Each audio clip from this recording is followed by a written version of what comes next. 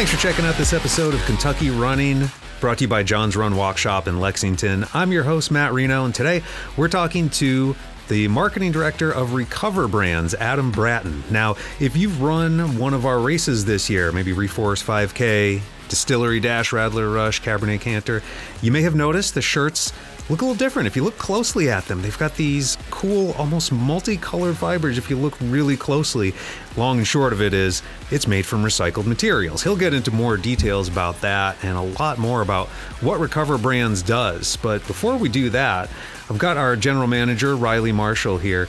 Riley, how you doing today? Good, Matt. Thanks for having me. Tell us how we as John's Run Walk Shop discovered Recover Brands and why we thought it would be a good fit for our race shirts. Yeah, so we have been Green Check certified for several years now. We just recertified with them back in the spring. We are always on the lookout for ways we can be greener as a company. And one of the things that we believe is if we're going to go greener, we need to make sure that that's a concrete step we can take without sacrificing quality or anything like that. And Recover Brands makes excellent quality shirts. So we saw them back at a conference last year and immediately knew, you know, we want to see if we can make this work for our races moving forward, some of our in-store apparel as well. All of those factors have come together really really nicely. They obviously have a great quality, but on top of that, they are actually more cost effective for us. So we can continue working with them moving forward. They're going to hopefully be our partner for years and years to come and allow us to make a concrete step towards being greener for good. Yeah, and as we're going to get into in the interview with Adam, Recover works with some pretty large organizations, such as Farm Aid. We're going to talk about that in a little bit, but they're also big on supporting small businesses. So, what made them a good choice for us as a local small business? One of the things that's really fun about running a small business is you really get to highlight and see the world in a way that shows off how you can make a difference in your small corner of the world.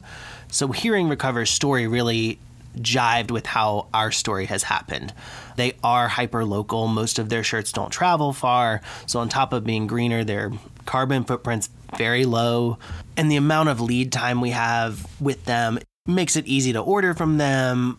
Everything is very straightforward with them from the get go. From start to finish, you know, we don't have hiccups, anything like that. And as a small business, we really can't take hiccups or complex ordering in a way that a larger company might be able to handle that.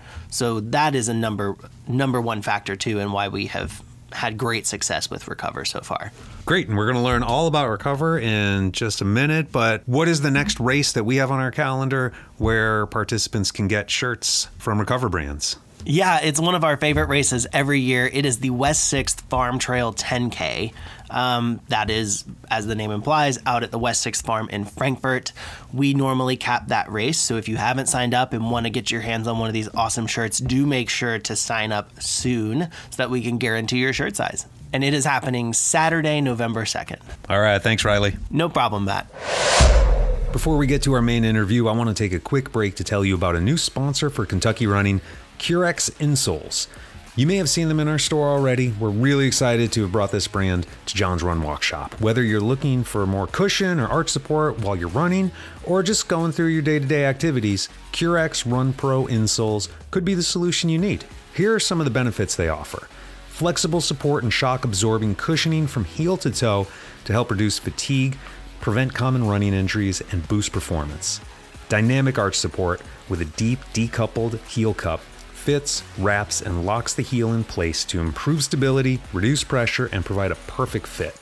Rebound cushioning and controlled power transmission provide faster regeneration and powerful propulsion with every stride. Performance insoles feature a zero heel drop, providing the best fit in most running shoes with optimized motion for all running foot strikes and they help manage moisture with mesh top layer and premium foam cushioning to keep feet dry and running shoes fresh. Next time you're in John's Run Walk Shop, ask us to check out your arches and knee alignment so we can help you find the right pair of Currex Run Pro insoles for you. All right, today we're talking to Adam Bratton, Marketing Director for Recover Brands. Adam, thanks for being on the show. Absolutely. Thanks for having me. I'm excited to dig into it today. Great. So tell us a little bit about the background of Recover Brands. How long have they been around? How did the company get started? Yeah, absolutely. So uh, Recover's been around since 2010. been kind of on a mission to create truly sustainable apparel, constant kind of innovation. The recycled textiles and apparel industry has changed quite a bit over those years. But ironically, the concept was created out of our founders, Bill Johnson and, and John Riddle, linked up because I think Bill was a recent college grad and was trying to buy a bike. And so they met up to exchange that and kind of go on a couple rides just to kind of see if the bike was working, all that stuff. And the business model literally stemmed from conversations as they were riding bikes through the, the mountains of Western North Carolina. So it's uh, at the ethos, Recover's always been about active, getting out in nature.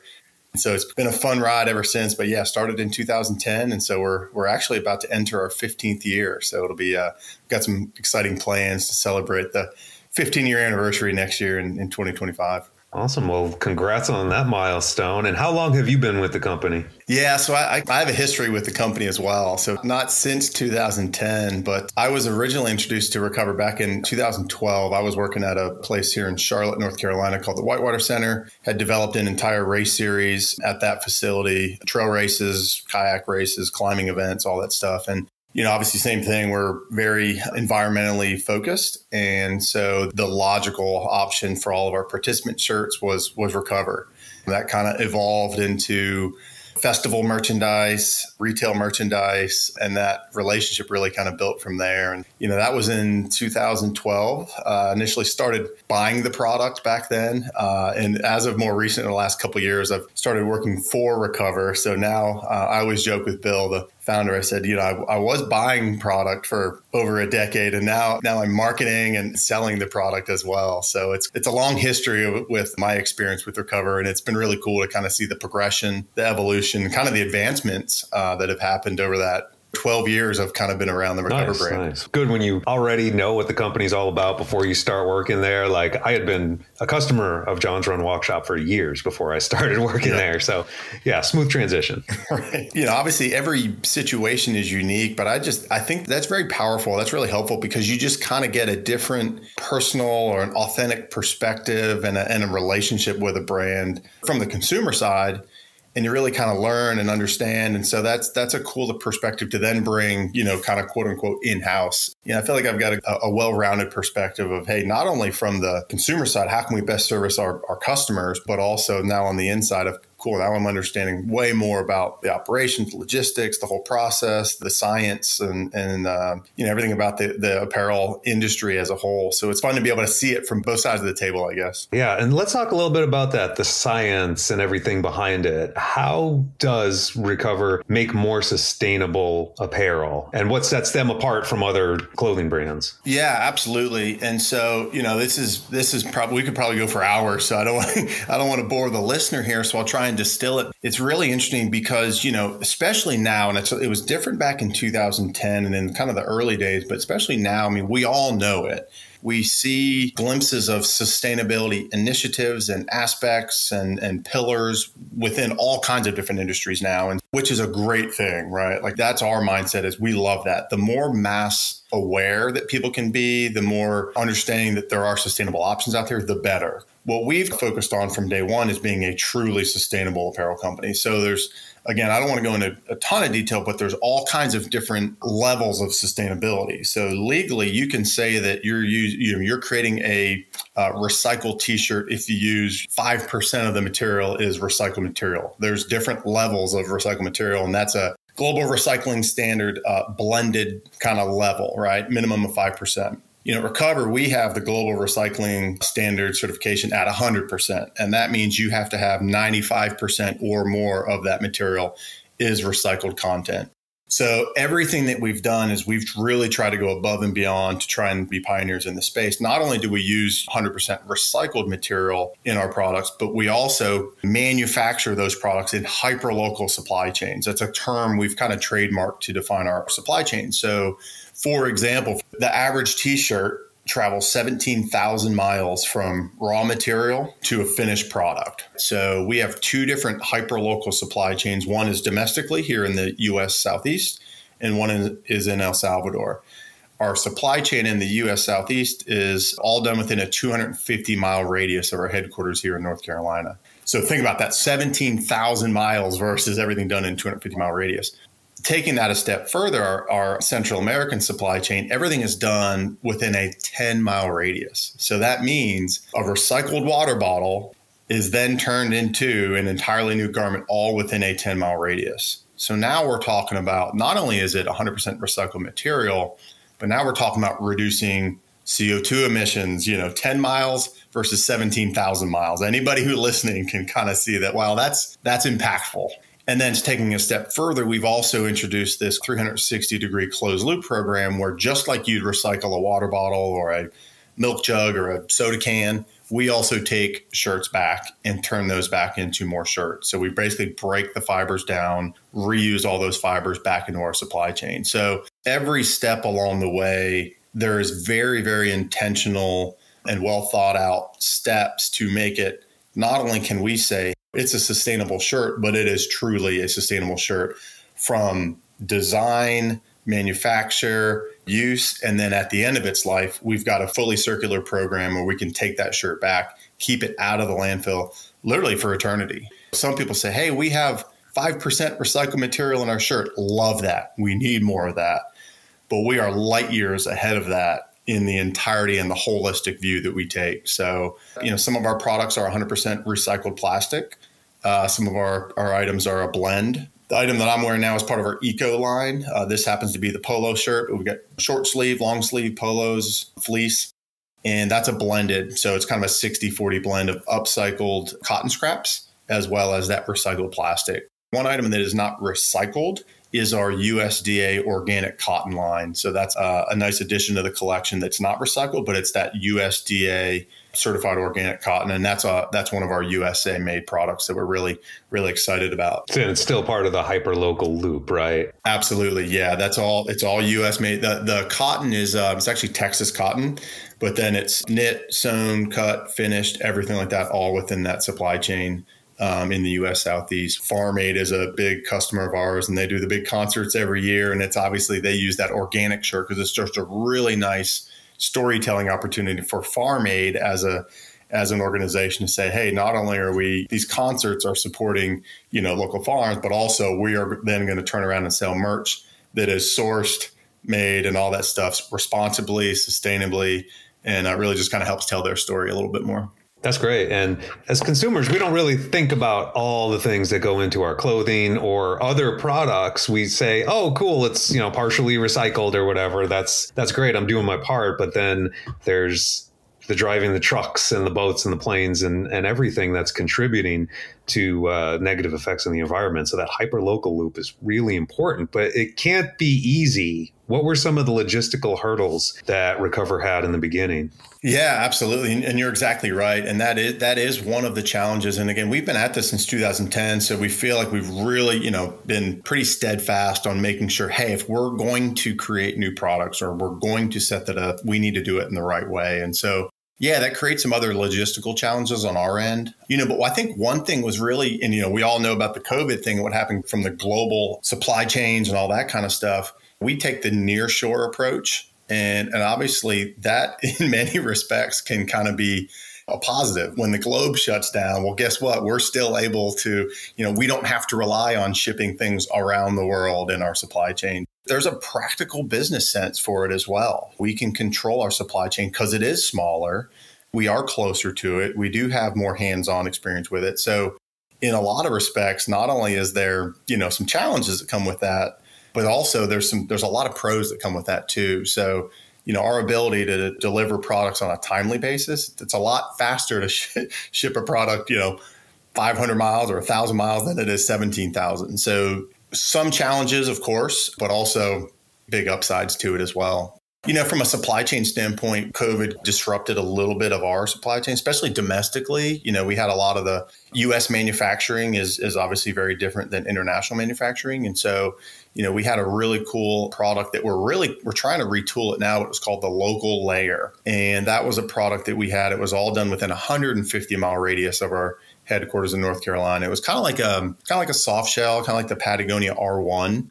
Really great piece. And, you know, after COVID, some of the factories, you know, suppliers that we were using, um, unfortunately shut down. And so we had some troubles with that. So there are some challenges with it. we're working on retooling that a little bit and actually adding some new products as well. So that's kind of the evolution that we've seen over the years is, you know, there's there's obviously ebbs and flows, but the North Star, if you will, has always been, hey, let's let's make sure if we're going to do it, do it the right way, take the holistic approach. Anybody could get anything manufactured anywhere, right? Just generally speaking. And if that's your ethos, then, you know, go for it. Our ethos is intentionality, responsibly producing items, and sustainably producing items. So a little more work uh, on our end, but we feel that that's the better way to do things. The, the approach we've taken is saying, hey, just because we can do it doesn't mean do it. Do it the right way, do it the better way, do it the more responsible way. Nice. And I should mention the products are still high quality. Yeah. Listeners might be thinking, wait, these shirts are made out of plastic. That can't be comfortable. But yeah, they are very soft, very comfortable. You figured out how to get the, the best of both worlds there.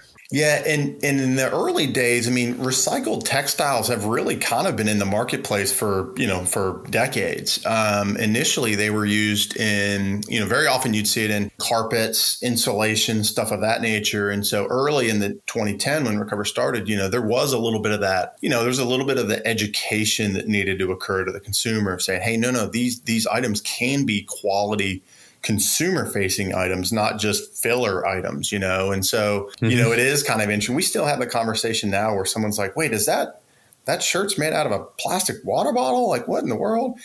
But that's where, again, a lot of people are starting to implement some of these more sustainable fabrics or uh, materials into their products. So it is becoming a little bit more mainstream. We've always known that there can still be a really high quality, durable material. But obviously, from the general mass consumer marketplace, you know, a lot of people are really kind of understanding that a bit more. You see repurposed materials in all sorts of applications, whether that be textiles or, you know, other items too. So you know, there's sunglass companies that are made from, you know, ocean plastic. So these materials can be repurposed in a number of different ways. You know, obviously we feel like we've got the the special sauce in the uh, in the apparel space, but uh, we love, you know, we do a lot of collaborations with other brands that are doing supportive work in their industries or their product segments as well. So the more we can keep doing that and share that with the public and and that people understand that like okay yeah i can repurpose or i, I want to support brands that are repurposing materials instead of introducing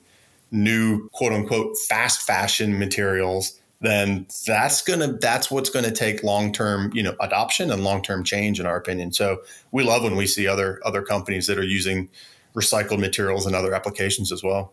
You mentioned that you've been providing clothes for farm aid. Mm-hmm. Any other partnerships or collaborations you want to highlight?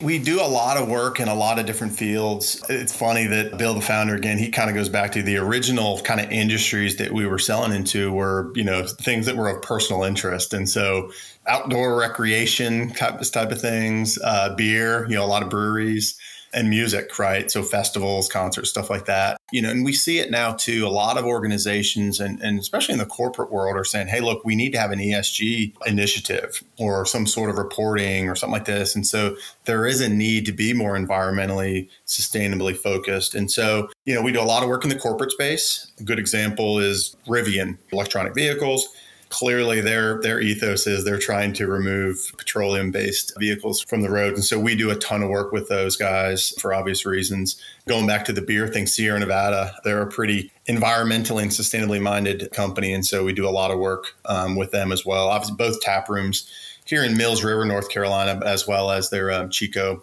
uh, tap room out in uh, out in California. You know, but it's also we work with a lot of, like I said, the local coffee shops, the breweries, mm-hmm. the mom and pop shops, yeah. outdoor, you know, kind of outdoor specialty retailers. Clearly, we'll, we'll get into the the run industry, which is a huge vertical for us. But yeah, there's a like I said, there's a lot of different applications for it. Our brand tagline is the responsible company for everyone and that's very intentional right? It's we want this sustainable mindset to be mass adopted and mass appealing. And so you know that opens it up to hey if you care about having a more sustainable apparel option then we're a great option for you. You know whether that's you know getting blanks we can do full decoration or just send blanks you know whatever it is. If you if you truly care about saying hey i want to i want to use that blank canvas as my storytelling opportunity for sustainability, we can then turn around and provide impact stats, impact reporting to show how many bottles were diverted from the landfill, you know, how much CO2 we avoided since we didn't have to ship 17,000 miles. All the colors from the material is actually all natural. So it comes from the recycled cotton scraps. So that means we don't use any dyes, we don't use any chemicals, anything like that. So that saves 99% the amount of water and electricity of a conventional shirt.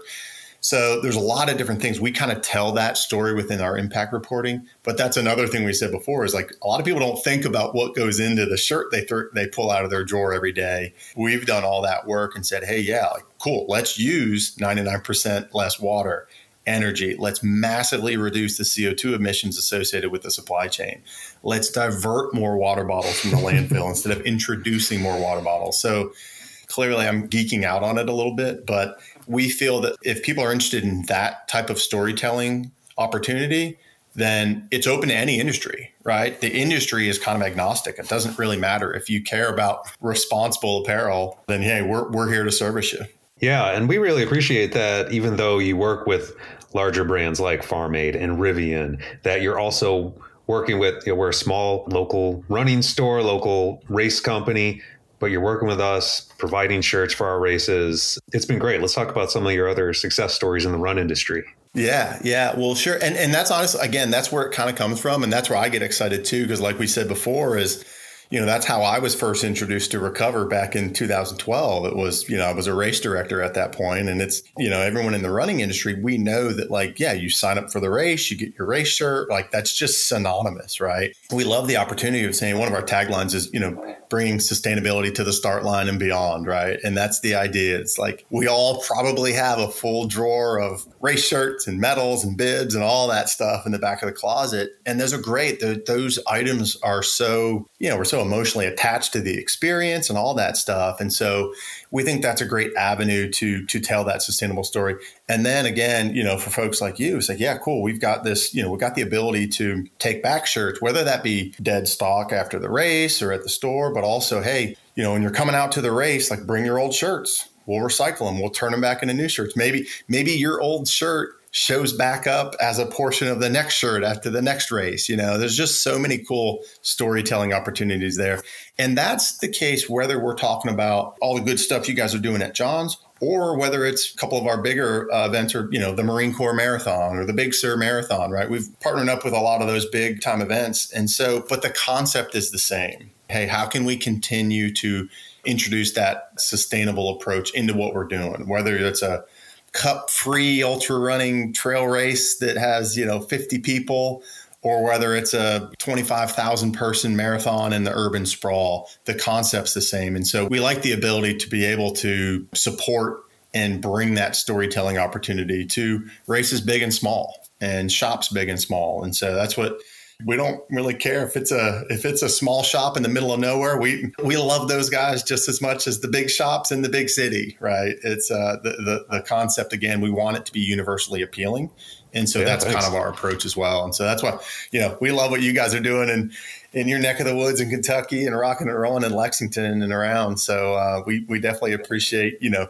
you investing in a more sustainable approach and being cognizant of it and understanding that, hey, we are going to have an impact with our races. Like there is going to be an environmental impact. We all know that. But let's be smart about it.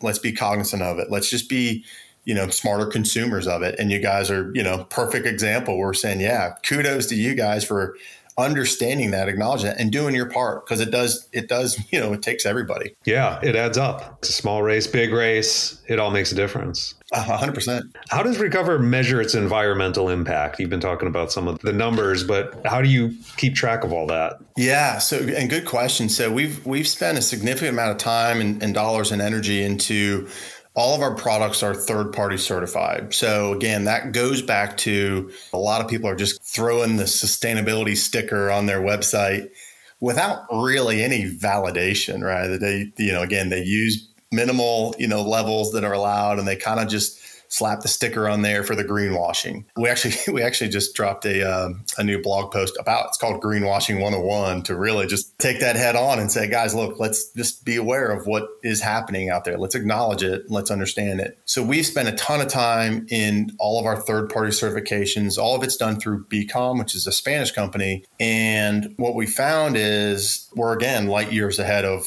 a, a comparable shirt. They take everything into account, not only the materials used, but even things like traceability. So on average, and each product is different, right? So we basically they did research on every single one of our products, our eco line, our classic line, our organic line, our sport elite, our impact jacket, all these things. And so they have different reports for each and every one. But they even go back to like the traceability. And so we're super proud that we've been able to certify I think the lowest traceability is maybe like 92% traceability in all of our products. Comparatively, a you know fast fashion shirt that's out there would be thrilled if they could get anywhere close to 30% traceability. So just just as a as an example for the listener, like and that's what I keep saying, we're light years ahead of, you know, that fast fashion shirt you're grabbing off the shelf. And we just think that's so important, right? A lot of people are just throwing stuff out there without that validation. Everything we have is third party certified. And again, of course, that takes a lot more time for us. That costs us a lot more money to have all that stuff done. There's a lot of resources we've put towards that. But what I said earlier is we think that that's the right way to do things. If we're going to be pioneers in the uh, sustainable apparel space, we need to back that up. And that can't just be us. We can't just say, hey, trust us, right? Hey, trust us that this product is responsible. It's like, well, no, we need to back that up. We need to certify that. We need to verify that with third parties and we've done all that stuff. So, you know, all the impact stats that we have that are coming out, that's come from BCome, and they're a, you know, they're a global leader in that sustainable reporting space. And so that's why we've chosen to go through that process with them is that allows us to further tell our story. And then also all of our customers then they can tell that story as well, right? We've done all the back leg work, the homework, all that stuff. So we could literally run a report for Johns and say, hey guys, look, here's the impact we've had and we can create these graphics and all kinds of stuff. So maybe we can uh, we can get a graphic worked up and get that over to you so we can see literally the listeners of, of the podcast can check it out and say oh wow here's the impact that johns is having. Yeah. Okay let's do it yeah, perfect. Well, that's my promise to you, Matt, and that's my promise to the listeners that we'll get an impact stat graphic over there. And that's what we love. That's a whole reason why we're saying, cool, we want to help customers tell that sustainability story. Like that's an important thing when you can see how many gallons of water you've saved or how many water bottles, whatever it is, that's really impactful. I'll definitely be reading the blog post about greenwashing because that's that's important now because everybody's saying they're sustainable and they all have a little green leaf uh, somewhere in their packaging but you can't believe it all so. And that's that's what we go into. We talk about that. It's like you know some labels are the color green and they're trying to tap into it it may not have nothing to do with natural or anything like that but that's all part of this greenwashing you know philosophy and I think from our stance is we say, hey, look, we just want you to be conscious consumers, right? Understand, be informed, right? Educate yourselves. And it takes work. We know that, but we want to kind of help you along that way. So we also dropped another um, blog post. It's fast fashion versus slow fashion. So I kind of referenced that before, but you know, right. we see we see some companies that are doing micro releases every week. They're doing 52 different micro collections. And it's like, well, clearly that is not sustainable, right? That's just not, that is just the absolute antithesis of sustainability. And that's why we don't have, you know, we'll drop, you know, time based collections, whether that be prints or designs, but we don't introduce a new product unless we know there's longevity there, right? We're not doing fall release and then a spring release and a summer release. And, you know, we, we release yeah. products that have, have long-term viability and they, they have, they're kind of an evergreen collection that can last. Cause inevitably once that collection's done, then it's like, well, now it's worthless. So that that there that's where the waste uh, starts to come into flow. So we definitely we definitely try and stay away from uh, seasonal collection releases for that exact reason. Great, great. Anything else that consumers can do as individuals to identify sustainable clothing brands and tell what's greenwashing, what's not? We actually are. There's a big race here um, in Charlotte coming up here shortly, and it's you know it's in our backyard, and um, we're actually we're going to the expo and doing everything. We're releasing this new campaign, and it's directed at the consumer. So this is a perfect kind of answer to your question. It's called it's it's pretty simple, but it's called Take the Pledge, right? Literally just taking the pledge to be a more conscious consumer. We actually it's kind of cool. We have these little little recover they're like stickers that are in the shape of a T-shirt. It's got recover logo on the front and on the back, there's a simple QR code, and you scan the QR code, and you can sign up to take this pledge. You can do email or SMS, whatever you want to do. And again, the idea is we want to help you be a more conscious consumer. So, what we'll do is we're going to feed you all kinds of information, right? Those greenwashing articles, what to look out for to make sure that I, I'm not just looking at a label and assuming it's sustainably made. I, I, here's a couple key things that you can look for to ensure. We're also going to have some ongoing um, educational content to keep you informed, right? We, you know, we want to be a resource uh, for the consumer to help consumer understand what they can continue to do on an ongoing basis. And then also there's a free gift involved as well. So with your first purchase, you get a free closed loop mailer. And what that is, is that ties into our 360 closed loop program where talked about it before, especially for the running audience that we're, uh, that we're chatting with now is I got the drawer of old, old race t-shirts that I don't I don't know what to do with. That free closed loop mailer, you can fill that with mm-hmm. old shirts, send it back to us. We will literally break those down, recycle them back into new products. So just really kind of starting you on your, you know, your sustainability path, right? Obviously it takes each individual person, but we want to be a resource and a an enabler for more sustainable approaches. So that take the pledge is a super simple way that, you know, the listener can say, cool, I want to kind of get involved on my own, right? Just on the on the individual basis. So I'll make sure we'll we'll get the the link over to that to you as well. Put in the show notes or something like that. But there's a that is a super simple way just to get involved. Perfect. Perfect. All right. As we wrap up, at the beginning of the episode, you were hinting at some exciting developments coming down the pipeline as you approach your 15th anniversary. Can you give us a little sneak peek at anything here? Well, so yeah, we have got a couple new products coming out, and one that's actually going to drop here in the next couple weeks. We we did tease it at the um, Marine Corps Marathon last year, and it was a huge success. But it's this, um, it's called the Impact Jacket. So for the running industry, that loves it, right? It's kind of like your what you'd see at a finisher jacket for big marathons, all that stuff. It's a it's a you know a soft shell um, it's got an integrated hoodie with a you know a, um, a, stowaway clasp. It's got the the chest uh, clasps up front if you need a different a ventilation, dual side pockets. But we love that product because it really highlights both of our supply chains. So again, our hyperlocal supply chains are here domestically as well as in Central America. So the fabric is is knit and uh, produced here, all in North Carolina, and then the specialty cut and sew is all done in our facility in El Salvador. So we love the fact that this, you know, it's a really premium product, really nice.